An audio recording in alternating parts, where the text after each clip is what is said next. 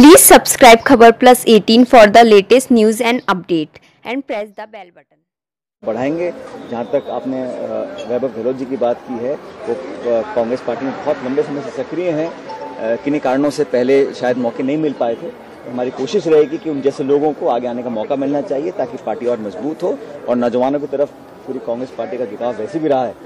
और अंतिम निर्णय तो समय लगेगा उस पर लेकिन हमारी कोशिश रहेगी कि जीतने वाले उम्मीदवार हम मैदान में उतारें और दो सीट हम जीत चुके थे पिछले बारह महीने पहले।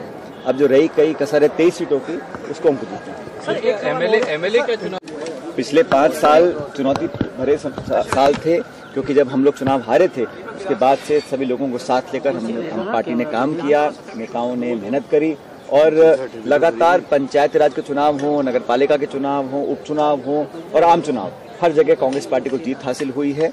आ, मैं इस मौके पर कांग्रेस पार्टी के तमाम कार्यकर्ताओं लाखों लाख कार्यकर्ता राजस्थान के जिनके बलबूते पर हमने सरकार बनाई है मैं उनका धन्यवाद करना चाहता हूँ।